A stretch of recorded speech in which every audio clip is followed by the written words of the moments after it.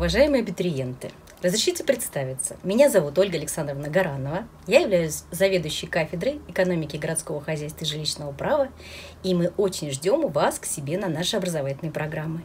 Я напоминаю вам, что наши программы – это две программы бакалавриата по направлению подготовки государственного муниципального управления, и мы вас ждем на два профиля этой программы.